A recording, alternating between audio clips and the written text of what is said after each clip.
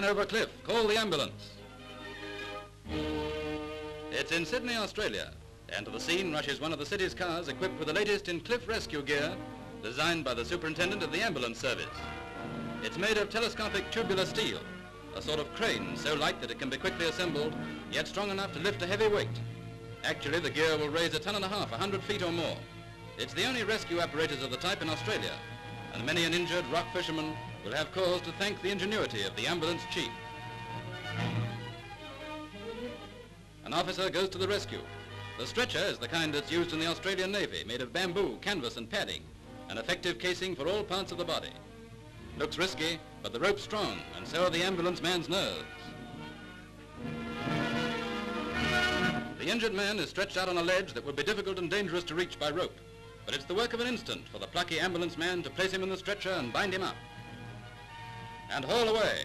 Sometimes it can be a tug of war with death, but smoothly and surely the patient is swung upwards to the ambulance car. Imagine the job of carrying a man up a cliff face like this. So to the top, where the other brawny lads take him in tow and soon they'll have him whisked away to hospital. Now it's goodbye danger. In a few moments it'll be good night nurse.